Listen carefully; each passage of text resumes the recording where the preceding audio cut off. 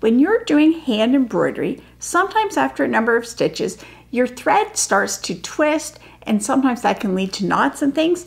There's an easy way to fix this.